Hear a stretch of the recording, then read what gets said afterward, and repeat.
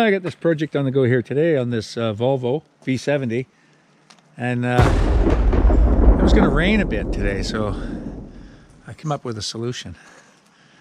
I got a long tarp and I backed the pickup truck up next to it here.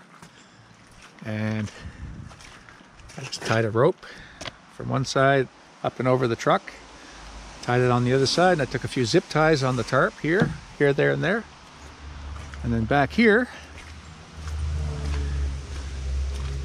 I put a zip tie through the pin on the door and a couple of zip ties across on that roof rack and then let me take you inside and show you what I got. There.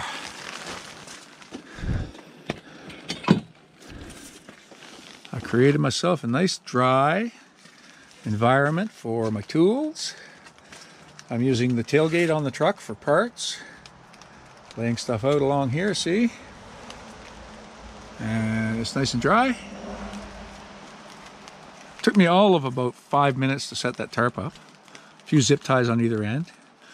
And I happen to have a piece of foam and I just put the foam up over the top of the hood on the car to keep the, the edge of the hood from digging into the tarp. And uh, yeah, got it right down here to waist length. And I even got the wheel off. I worked in here a little bit. It's all bone dry.